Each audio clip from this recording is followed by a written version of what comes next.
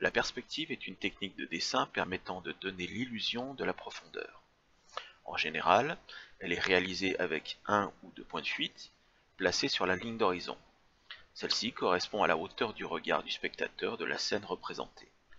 La perspective découverte par les architectes florentins à la Renaissance a été très rapidement adoptée par les artistes et a profondément modifié la représentation du monde dans l'art.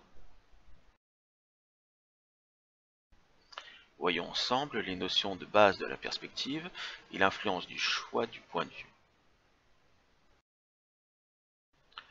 Commençons par la perspective à un point de fuite.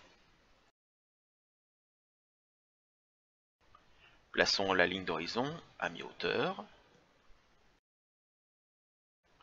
et un point de fuite sur celle-ci. Cela correspond à un spectateur debout regardant la scène. Nous allons représenter un cube en perspective et dessinons en premier la face la plus proche de nous. Dans la perspective à un point de fuite, les verticales restent verticales et les horizontales restent horizontales. Ensuite, nous allons projeter les fientes sur le point de fuite en partant de chaque angle de la face du cube.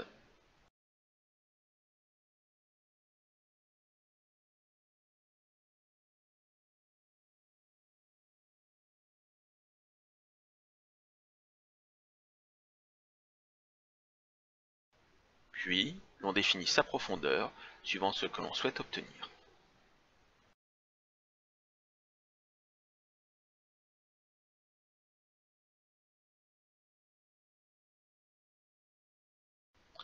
On a ainsi dessiné un cube en perspective à un point de fuite avec un point de vue de face.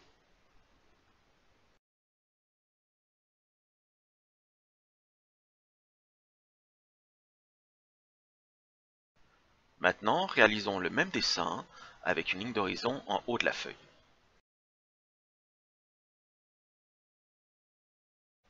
Cela correspond à un spectateur qui regarde la scène de haut comme debout sur une échelle. On procède de la même manière que précédemment.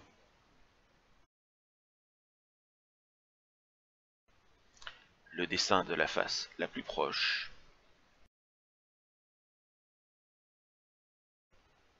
la projection défiante,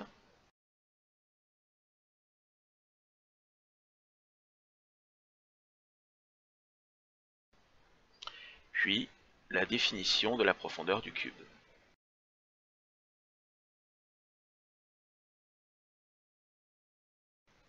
On obtient ainsi le dessin du même volume, mais avec un point de vue en plongée.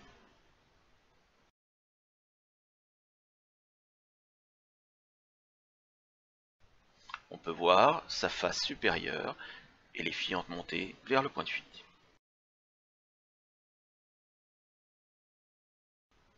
Réalisons à nouveau le même dessin, mais en plaçant la ligne d'horizon dans le bas de la feuille. Cela correspond à un spectateur qui observerait la scène en étant au niveau du sol.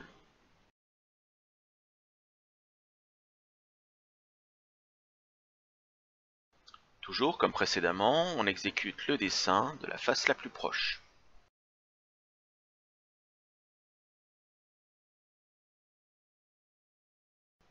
La projection défiante.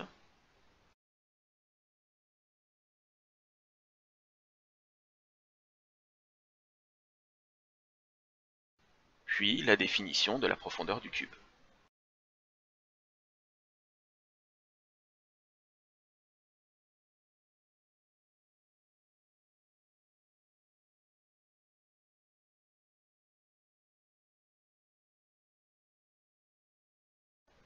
Cette fois-ci, on remarque que les fuyantes de la partie supérieure descendent très fortement vers le point de fuite, alors que celles de la partie inférieure sont presque horizontales.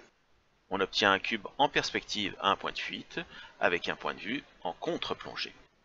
Voyons maintenant comment représenter un cube suivant les mêmes trois points de vue, mais avec la perspective à deux points de fuite. Pour un point de vue de face, on place la ligne d'horizon à mi-hauteur, puis l'on place les points de fuite un à gauche et l'autre à droite.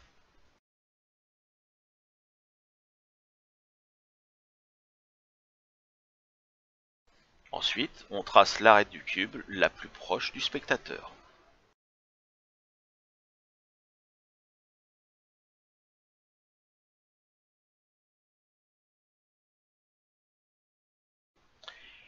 Puis on projette les filantes vers les points de fuite en partant de la base et du sommet de celle-ci.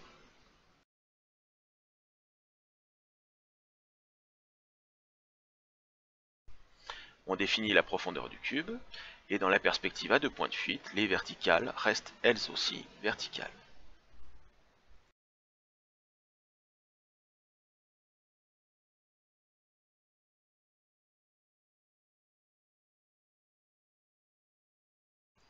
On obtient la représentation d'un volume sur l'angle avec un point de vue de face.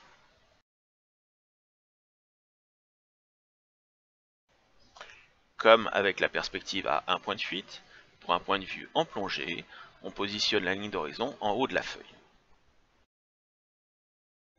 On place les deux points de fuite.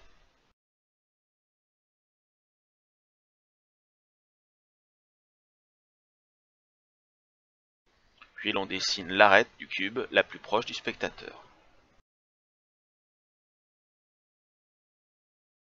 On projette les fuyantes sur les points de fuite.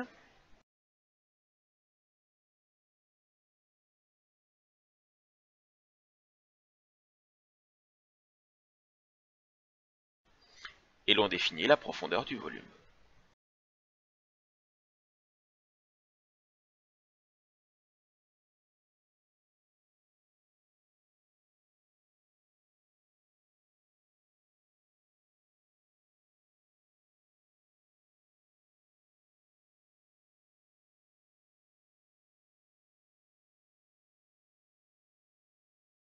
On obtient la représentation d'un cube sur l'angle avec un point de vue en plongée.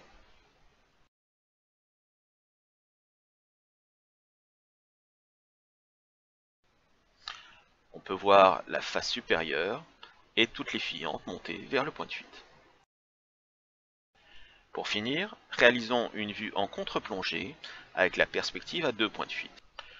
On place la ligne d'horizon dans le bas de la feuille, puis les deux points de fuite. Comme précédemment, on dessine l'arête du cube la plus proche du spectateur.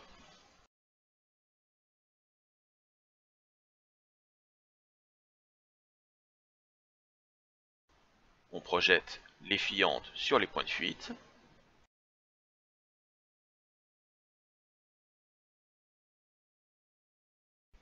Et l'on définit la profondeur du volume.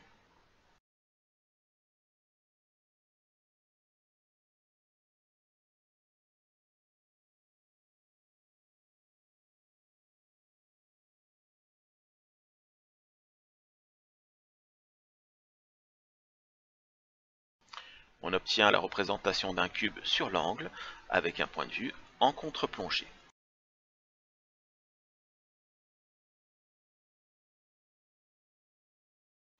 On peut voir que les filantes de la partie supérieure descendent très fortement vers le point de fuite, alors que celles de la partie inférieure sont presque horizontales.